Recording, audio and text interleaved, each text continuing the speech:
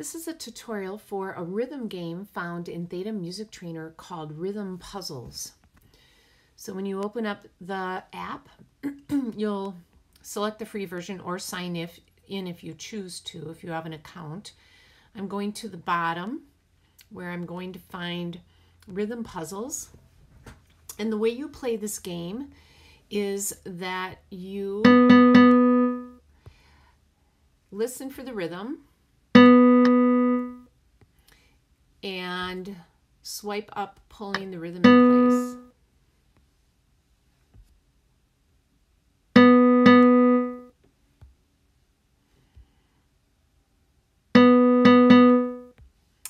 So you listen and then just place them in place. And when you've completed that level, you can, um, you'll see what your score is. You can play it again. Uh, you can record your scores. Uh, if you're turning this in for assignment, then I would want you to take a screenshot of this um, page so I can see what your scores were and how many times you played the game and have evidence that you completed the assignment. So that's how you play rhythm puzzles.